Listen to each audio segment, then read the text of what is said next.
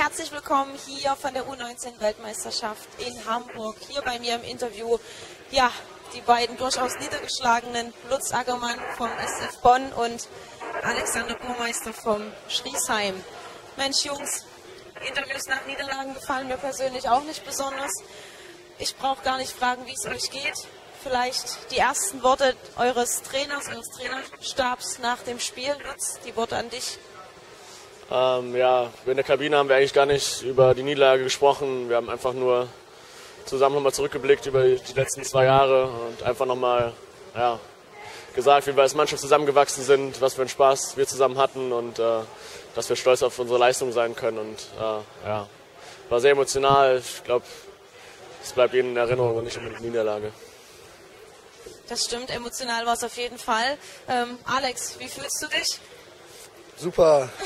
Nee, Spaß. Also, das ist die bitterste Niederlage, die man kassieren kann in Over äh, Overtime. Also, da ist es steht es 0-0 und der Erste, der einen glücklichen Schuss reinmacht, gewinnt. Und wenn man verliert, ist natürlich die größte Enttäuschung. Aber so ist Sport, das Leben geht weiter. Und wenn wir nächstes Mal irgendwo spielen, dann ist wir in der Overtime, haben wir vielleicht Glück und da gewinnen wir. Nur war das halt eben das wichtigste Spiel wahrscheinlich in unserem Leben. Das war unser Traum. Seit September 2011 sind wir als Mannschaft zusammengewachsen, haben zusammen gefightet und haben, das ist unsere Krönung gewesen heute. Und ausgerechnet heute verlieren wir eben. Das ist natürlich das Schlimmste, was passieren kann. Und da ist natürlich keiner glücklich. Ja. Ja, wir am allerwenigsten und vor allem Floorball Deutschland ebenso nicht und natürlich auch die über 1000 Fans, die euch heute wieder frenetisch angefeuert haben. Ähm, Lutz, ähm, die Partie an sich begann eurerseits relativ verhalten. Polen, ähm, insbesondere die erste Linie, agierte extrem fit, sehr laufstark, technisch sehr, sehr stark. Und äh, das 1-0 lag entsprechend dann in der Luft. Ihr habt euch dann im zweiten Abschnitt deutlichst gesteigert, sehr gefangen, seid über eure Schmerzgrenze hinausgegangen. Trotzdem hattet ihr wirklich Mühe, euch die Tore zu erarbeiten. Was war da los?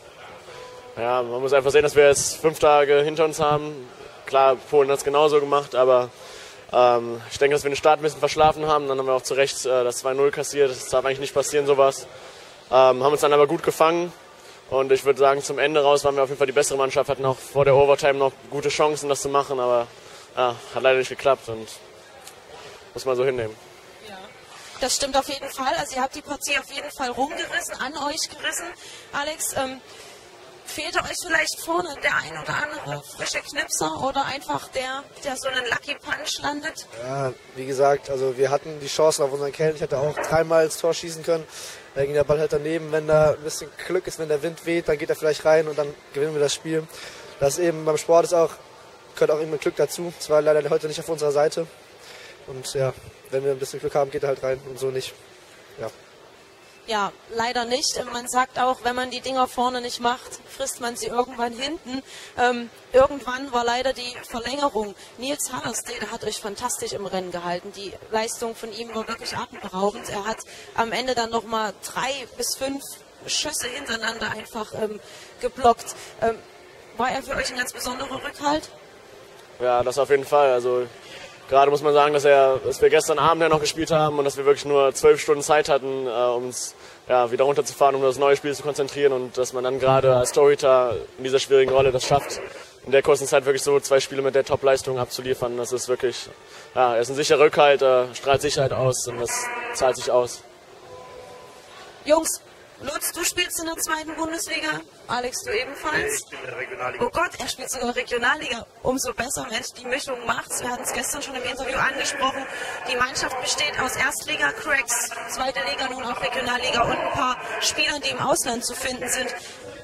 Ich persönlich finde, im Vergleich zur U19-Nationalmannschaft vor zwei Jahren habt ihr ein ganz anderes Auftreten gehabt und ähm, habt euch wirklich sehr, sehr gut verkauft. Ähm, wie ist die Stimmung in der Mannschaft und vor allem auch das Leistungsgefälle? Also das Leistungsgefälle ist nicht so groß, wir sind alle auf einem Level im Prinzip und die Stimmung ist natürlich, weil wir eben wie eine Mannschaft zusammengewachsen sind, wir sind ein richtiges Team, ja, wir sind nicht irgendwelche Spieler, die irgendwo hergeholt sind, wir kennen uns alle schon ewig und wir halten zusammen und jeder baut den anderen auf. Wenn jemand schlecht geschossen hat, wird er ermutigt und ich denke einfach, äh, wir haben das beste Nationalteam 19 gestellt, das Deutschland stellen kann, hat eben nicht gereicht leider. Lutz, kurzer Ausblick. Ähm, wie geht es jetzt weiter? Sicherlich verabschiedet ihr euch alle erstmal in die wohlverdiente Saisonpause. Gibt es schon einen kurzen Vorausblick ähm, vom Trainerstab? Wisst ihr, ob er euch erhalten bleibt? Ähm, ja, das war jetzt ja unser letztes Jahr U19. Ähm, ich weiß nicht genau, wie es weitergeht mit dem Trainerstab, ob die, ob die weitermachen. Ähm, ja, dazu kann ich eigentlich nichts sagen. Das wurde auch noch nicht angesprochen. Es wurde jetzt erstmal alles auf diese WM konzentriert und äh, ja, wie es weitergeht und welche Spieler dazu kommen, da kann ich nichts zu sagen. Wäre es Deutschland zu wünschen? Äh, das auf jeden Fall. Also ich muss sagen, die zwei und jetzt sogar bei der WM ist ja noch der Bruder dazugekommen, haben wirklich eine gute Arbeit geleistet. Ähm, alle sehr professionell und ähm, ja, so ein Trainerteam kann man sich nur wünschen. Ja. Alex, ihr altert jetzt eigentlich sprichwörtlich heraus aus dieser U19. Kannst du der nachfolgenden Generation, den nachfolgenden U19-Cracks irgendwas auf den Weg mitgeben? Ja, also auf den Weg mitgeben auf jeden Fall. Wie gesagt, wir haben jetzt verloren und wenn man auch mal verliert, das Leben geht weiter. Und dann versucht man es eben das nächste Mal umso besser zu machen und eben das umzusetzen, was die Trainer sagen. Ich hoffe auch, dass die nächste U19 nochmal unsere Trainer bekommt. Das waren die besten, die ich bis jetzt hatte. Und dann eben viel Glück für die nächsten WM.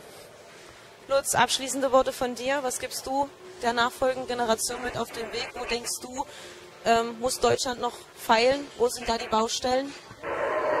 Ähm, was soll man dazu sagen? Also ich würde einfach sagen, dass äh, von Anfang an jedes Trainingslager ernst genommen werden muss. Dass wirklich dann äh, wirklich wie bei uns das war, jetzt war, dass wir über zwei Jahre lang gute Arbeit zusammen leisten und äh, wenn man zwei Jahre lang zusammenspielt, dann zeichnet sich das auch am Ende bei der WM aus und äh, wenn man das schafft, wieder, wieder hinzukriegen, dann äh, wird es nächstes Mal bestimmt klappen. Im taktischen Bereich ist Deutschland mittlerweile auf der Höhe, auch durch internationalen Input. Wie sieht es mit der Athletik aus? Ja, also wir haben äh, vor der WM von unseren Trainern immer Trainingspläne bekommen, die wir ausführen sollen. Ähm, inwieweit das ausgeführt würde, kann ich nichts zu sagen. Ähm, vielleicht hat man heute ein bisschen gesehen, dass äh, im Vergleich zu Polen, dass sie ein bisschen fitter waren. Ähm, ja, ich denke, da kann man auf jeden Fall noch was aufholen. Ob es jetzt am Ende die entscheidende Sache, der entscheidende Grund war, dass wir verloren haben, glaube ich nicht, dass es das war, aber es ist auf jeden Fall ein wichtiger Faktor, den man beachten sollte und äh, ja, auch Wert darauf legen sollte in den nächsten Jahren. Okay, Jungs, ich danke euch auf jeden Fall für das Interview. Trotz der Niederlage, ihr habt wirklich fantastisch gekämpft. Insbesondere das Dankeschön auch an die Fans war wirklich sehr beeindruckend und ähm, ehrt euch insbesondere. Ja, einfach Kopf hoch, Alex, du hast gesagt, das Leben geht weiter und ich wünsche euch eine erholsame Saisonpause und man sieht sich in der Saison. Dankeschön. Danke auch.